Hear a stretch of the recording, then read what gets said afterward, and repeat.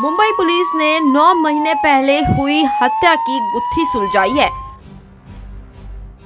कल्याण ग्रामीण इलाके के हेदुटने गाँव में काम करने वाले कर्मचारी की मौत की घटना 9 महीने पहले हुई थी। हालाँकि मृतक के परिवार ने मामले की जाँच की मांग की, क्योंकि उन्हें संदेह था कि कर्मचारी की हत्या की गई है।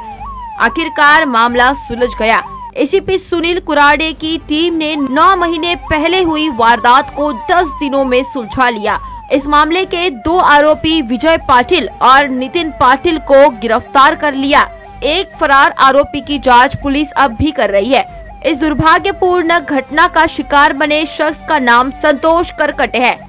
विजय और नितिन पाटिल ने उसे बुरी तरीके से पीटा क्योंकि संतोष के हाथ से उसे दी गई अवैध रिवॉल्वर गायब हो गई थी। मयत संतोष सरकटे हा हेदुटणे गावात शनी बाबा चाळ म्हणून आहे.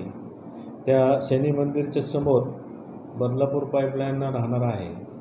तर त्या जानेवारीला नितीन पाटील, विजय पाटील आणि त्यांचा जोडीदार आहे तिसरा, बन्ने म्हणून. या तिघांनी दोन तीन दिवस वेळोवेळी मारहाण करून टॉर्चर करून त्यांचा मृत्यू झालेला होता. इस पिटाई में संतोष की मौत हो गई। हत्या के बाद अत्याधुनिक शराब पीने से उसकी मौत हो गई। ये सबूत मिटाने के लिए उसका अंतिम संस्कार इलेक्ट्रिक ताबूत में कर दिया गया। संतोष का परिवार पिछले नौ महीनों से न्याय के लिए संघर्ष कर रहा था। आखिरकार संतोष के आरोपी पकड़े गए।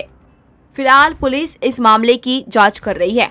मेट्रो मुंबई के लिए संवाददाता सुनील शर्मा के साथ अक्षता पवार की रिपोर्ट।